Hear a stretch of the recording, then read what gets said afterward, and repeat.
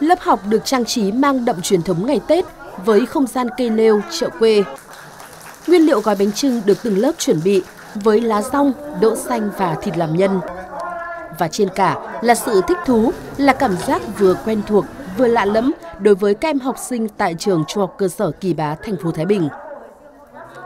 Khi nhà trường tổ chức cái hoạt động này thì con rất là vui, con cũng được học để gói bánh trưng. Con cảm thấy rất vui và phấn khởi khi được tham gia cùng các bạn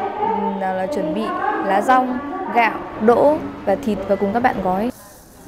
Hòa chung không khí rộn rã chuẩn bị cho Tết Nguyên đán của dân tộc, cũng như mong muốn tạo ra cơ hội, không gian để các em học sinh tìm hiểu về phong tục, các hoạt động trong ngày Tết truyền thống. Trường Trung học cơ sở Kỳ Bá, thành phố Thái Bình tổ chức hội thi vui gói bánh trưng tưng bừng đón Tết và trao quà cho học sinh nghèo vượt khó học giỏi.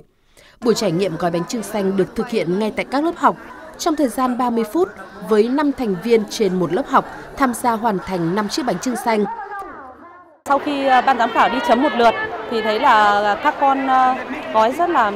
đều tay và đẹp và các con đã chuẩn bị nguyên liệu rất là tốt gói bánh là rất là vuông thành sắc cạnh hàng năm ấy thì thôi là các phụ huynh thì cũng quan tâm nhiều về cái vấn đề cái truyền thống cái cội nguồn của cái thế hệ từ trước đến bây giờ của các ờ, thế hệ chúng tôi nhá muốn truyền đạt lại và cũng mang lại cái cảm ứng để cho các cháu giờ nay và mai sau mãi mãi để giữ được cái truyền thống của dân tộc Việt Nam ta này.